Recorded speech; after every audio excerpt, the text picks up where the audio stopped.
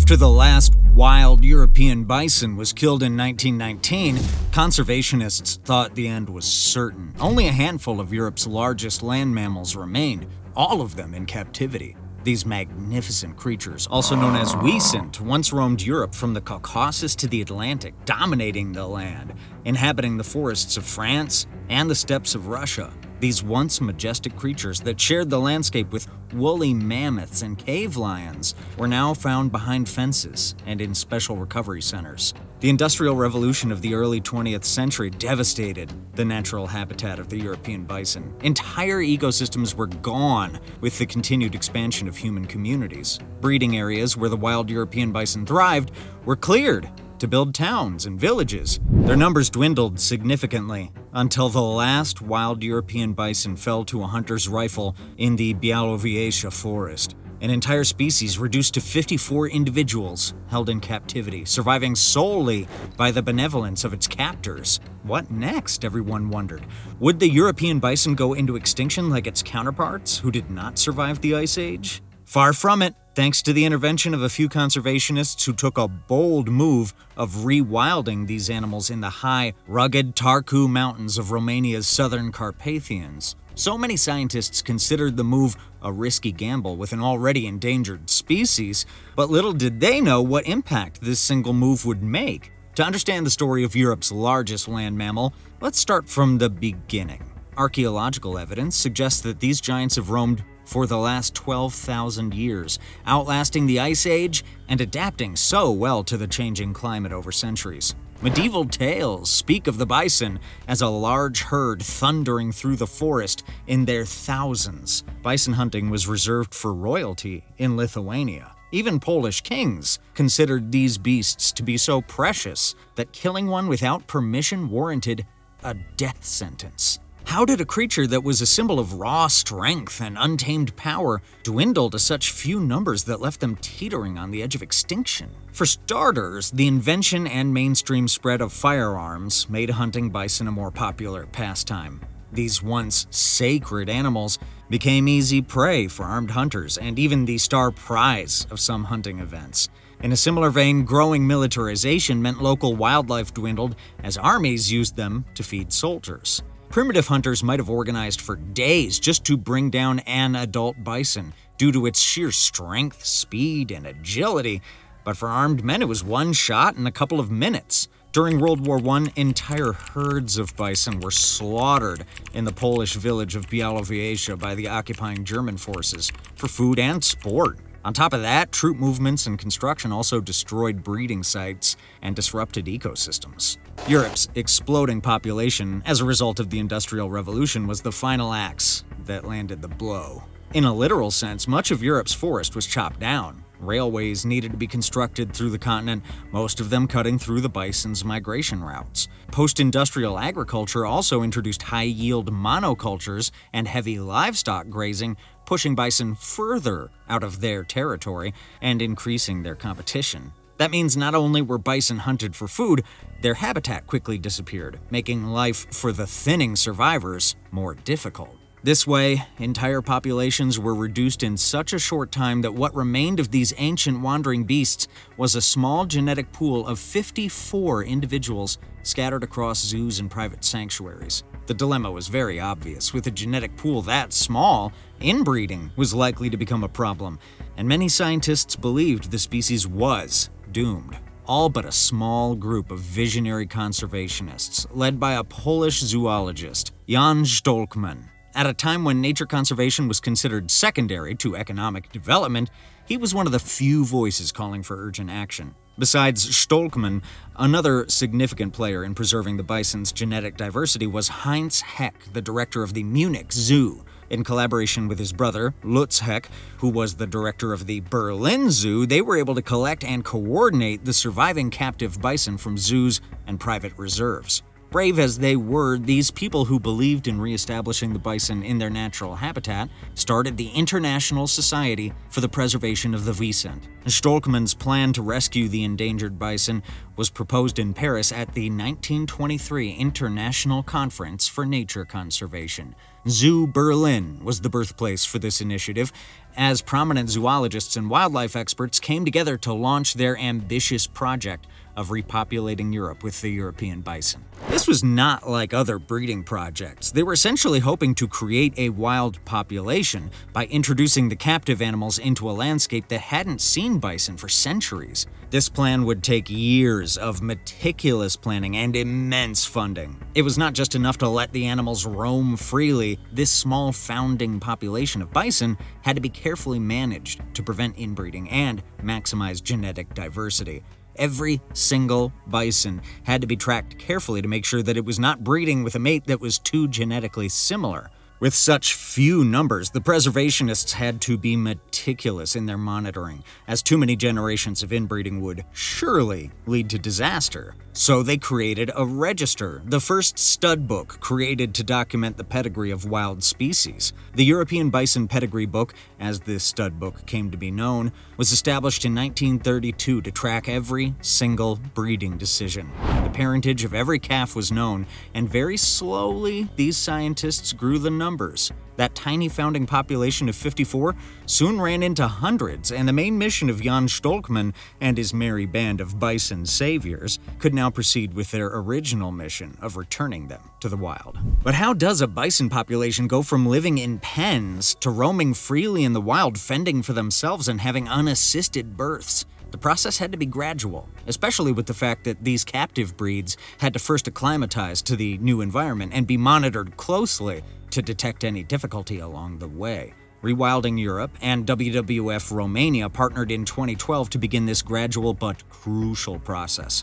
The Țarcu Mountains, located in Romania at the edge of the southern Carpathians, were chosen to carry out this project. The region used to be teeming with wild European bison before they dwindled significantly. The southern Carpathians of Romania was one of Europe's most promising landscapes for rewilding. Over 2.2 million hectares of ancient forests, river valleys, alpine meadows, and mountain peaks. A relatively large ecosystem that could handle a diversity of life and offer free space to roam for reintroduced species. For the first time in over 200 years, the European bison set foot in the Roman Carpathians on May 17, 2014 history was made, taking the captive animals and making them into free ranging animals. They weren't simply just picked up and dropped in the middle of nowhere on the Țarcu Mountains, as one would assume. A lot of preparation was done in terms of feasibility studies and community engagement. If the same humans who had nearly driven these animals to extinction weren't curtailed, it was only a matter of time before they would be back to square one. A 15 hectare acclimatization enclosure was built where the first group was placed. The group consisted of eight females and nine males of various ages, bringing the total number of introduced individuals to 17. These large acclimatization enclosures allowed the bison to adapt to their environment without wandering off on their own. It was also easy for the researchers to study their behavior and health in this way. More importantly, it kept poachers at bay, allowing the bison population to find its feet before becoming target practice. These initial years tested everyone's resolve, especially that of the researchers and donors to the cause. The newly released animals were unfamiliar with the terrain. Some struggled to find food, and many others could not adapt quickly to the seasonal rhythms of their new environment. Social hierarchies between the animals were out of balance, and this led to conflict between animals. Not to mention that the Carpathian region was known for its harsh winters, with deep snow and super low temperatures, presenting a challenge to captive animals that were used to the regulated environment from which they came. Worse, even, was the fact that no one had considered the prospect of predators. The Carpathian region was also home to wolves and bears, although they did not directly hunt the adult bison, which were rather too strong and obstinate. They preyed on the defenseless calves. Although the early years were rough, the bison eventually began to adapt. New social hierarchies formed, and finding food became relatively easy. The animals learned to navigate the steep terrain of the mountain ranges and cope with harsh winters. And most importantly, the first set of calves were born, making them true, wild European bison. Birthing new calves meant that the bison was not just adapting, but also thriving. Many of the sensibilities that their parents lacked due to being raised in captivity, these new crops would learn quickly, like escaping predators. Once they had acclimatized, the first group was released from the enclosure after two years in 2016. Another group of 23 bison was introduced to the wild in 2018. This time, two sites were picked out for the reintroduction exercise Țarcu and Poiana Ruscă. By 2021, over 100 bison was roaming in the Țarcu Mountains, with about 40 calves born in the wild. Researchers are monitoring these populations using GPS collars to learn about their movements and other field technology to quickly detect emergency and stressful situations. What started as the collective effort of very passionate wildlife conservationists has caught on like wildfire. Their recorded success in the Țarcu Mountains has inspired other rewilding projects that are being launched across Romania. In the nearest future, what we might have is a network of bison populations that are connected through wildlife corridors. Many bison have ventured dozens of kilometers from their original release sites, spread quickly across the terrain. That population of 54 has grown so much that they are about 9,000, with over 3,000 now living in free or semi free conditions across 10 countries in Europe. Despite most of these being semi wild animals raised in fenced off reserves, it signals hope for the truly free ranging bison population. Belarus and Poland remain home to the largest wild populations, each boasting of over 2,000 individuals roaming the country. Following closely is Russia, with a population of over 1,500 bison. Other countries that have a significant bison population include Germany, Romania, and Ukraine. Recognizing the immense effort put into rewilding Europe with wild European bison, the IUCN has reclassified the species from vulnerable to near threatened. While this is more than enough win for the conservationists, who have put in a lot of work to make this happen, they deserve accolades for the resulting ecological impact. The wilderness like environment that was the Țarcu has been completely transformed. Despite the erroneous belief by locals, who described these introduced animals as voracious eaters that posed a threat to the farming life, areas where bison now graze have shown increased biodiversity, transforming into pasture lands flowering plants are starting to bloom in the region again. Ecologists call the European bison ecosystem engineers. They do not graze like domesticated cows, as the locals presume.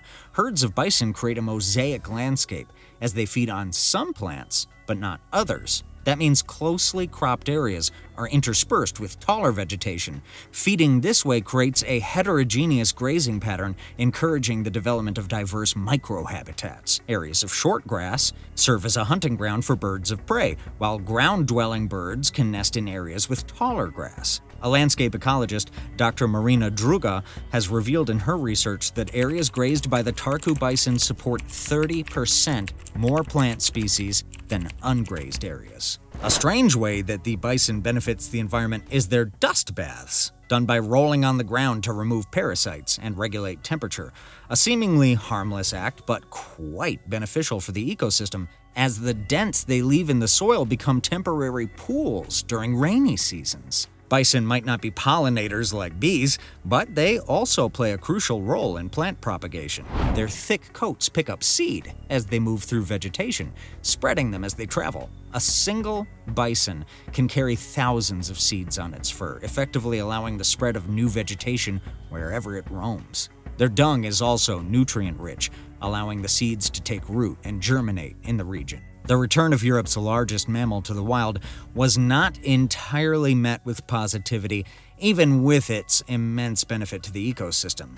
Yes, there were some locals who were excited about the ecological and tourism potential of their return, but many others worried about a few things, not quite accepting the idea when the conservationists told them about their plan. For one, there are concerns about the competition between bison and livestock for grazing areas. The local Armeniș commune near the Țarcu Mountains were particularly concerned about how big the animals were. According to Florin Marinescu, mayor of the commune, people are afraid that the animals are dangerous. Will they enter the farm and damage crops? What if they charge at you when you're close by? The International Society for the Protection of the European Bison recognized their fears and invested heavily in community engagement. They organized information sessions and addressed these concerns, even training some of the local residents to become wildlife guides. A compensation scheme has also been established to address any damage caused by the bison to crops and property. But even with those incentives, little damage has been reported by the locals. Bison watching is now very common in these areas, opening a new economy to the locals. Guest houses, restaurants, and craft shops have sprung up in the areas to accommodate the visitors. It is estimated by the Romanian Ministry of Tourism that bison related tourism now generates 2 million euros annually for the region. In 2022, a collaborative study by WWF Romania and Rewilding Europe revealed that the reintroduced bison in the Țarcu Mountains cover a range of more than 200 square kilometers, with some individuals traveling over 80 kilometers from their original release sites. GPS data showed that the bison use forest edges, alpine meadows, and even old logging roads to navigate the landscape, suggesting that they are actively reshaping their environment. This has sparked new conversations around wildlife corridors in the southern Carpathians, where conservationists aim to connect fragmented habitats for bison, bears, lynx, and wolves. Supported by EU biodiversity funding, the goal is to establish a connected wilderness area across Romania and neighboring countries. The Țarcu herd is now considered one of the most genetically valuable free roaming populations in Europe, offering not just hope for the bison, but a blueprint for rewilding large mammals across the continent. The successes in establishing the wild bison population in Romania are remarkable. However, there still remain challenges that need to be overcome. Disease management is one such challenge. Repopulating from a small founding population has made bison potentially vulnerable to even the simplest pathogens in their natural habitat.